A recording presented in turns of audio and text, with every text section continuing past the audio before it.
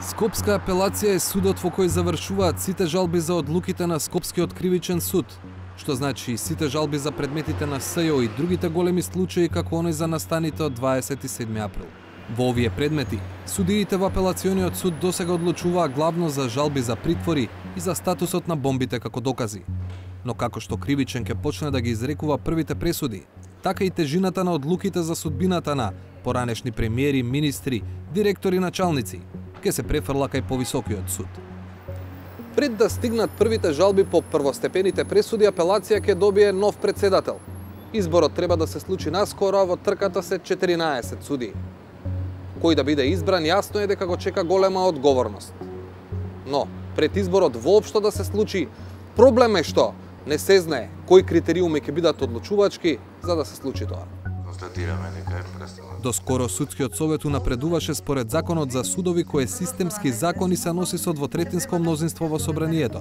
Изборот редовно паѓаше кај судијата со најмногу бодови кои се добиваа според бројот на решени предмети кои не паднале пред повисоките судови. Основен критериум е добиениот број на бодови, а другите критериуми што се наведени таксативно меѓутоа не се бодуваат се во законот за судски совет и не можат тие критериуми да се применат при вршењето на избор на суди. Но при последниот избор на судии во ноември, судскиот совет без образложение смени праксата. Наместо законот за судови поважен им стана законот за судски совет, кој патеме подреден закон и се носи со просто мнозинство. Со тоа и бодовите од главен услов за избор. Наеднаш станаа неважни, а во прв план излегоа критериуми кои не можат објективно да се оценат, како на пример углед на судија или менаџерски способности. Сега ниту председателот на судскиот совет веќе не кажува по кој критериум ќе се води.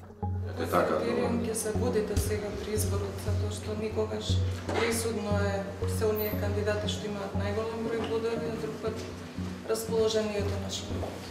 Значи јас лично сум еден од членовите, иако сум председател, и моето право на глас е еднакво како и на останатите 13 члена и не можам да дадам одговор во име на, на целиот судски совет. Што ќе се?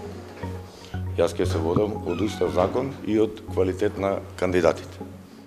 Ситуацијата е нејасна и за кандидатите за председател на апелациониот суд во Скопје и за Сдруженијето на судии кое побара објаснување од судскиот совет по последниот контроверзен избор.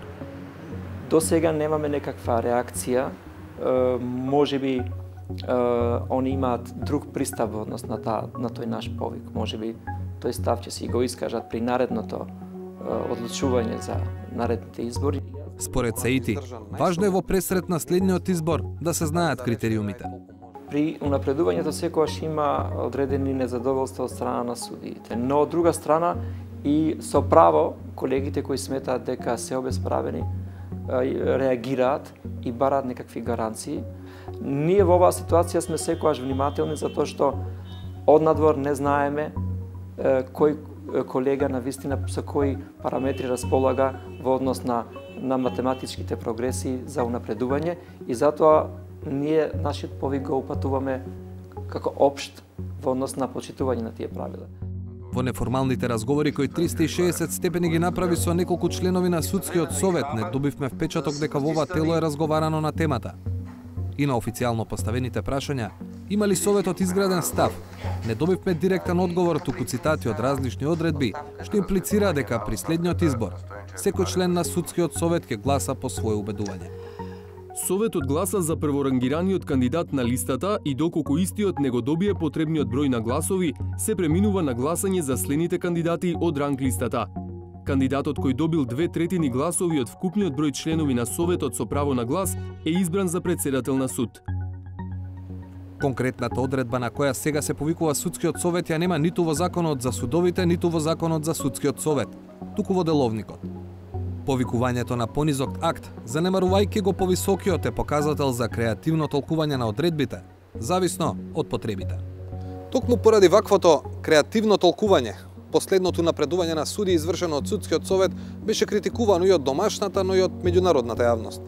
Во меѓувреме, беа направени измени на законот за судскиот совет, но новите одредби, иако треба да обезбедат поголема транспарентност при одлуките за избор, сепак не даваат одговор на клучното прашање, а тоа е кои се правилата на игра при напредување на судии. Сега се предвидува гласањето на место тајно да биде јавно, а секој член на советот ќе мора да објасни зошто гласал, така како што гласал. За Сдруженијето на судии, измените се напредок кон пофер надпревар, но не и конечно решение. Прашањата се децидно уредени во законот каде што се наведува дека се избира тој што е прв на бодовната листа. Ние имавме повторно управен одбор и меѓу точките беа и разредувањето на овие закони. и имаше една реакција од типот доколку прв оди прв тој што е на ранг листата, дали е дали тоа значи дека законот го избрал а не членовите на судски совет?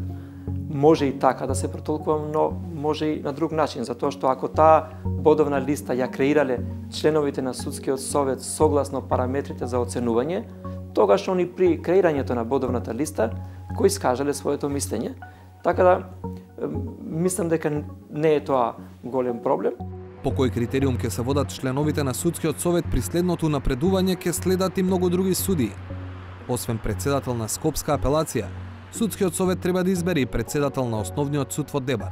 Голема битка ќе има и за отворените места за еден врховен судија, за тројца судии во Скопска апелација и за едно место во апелација Битола.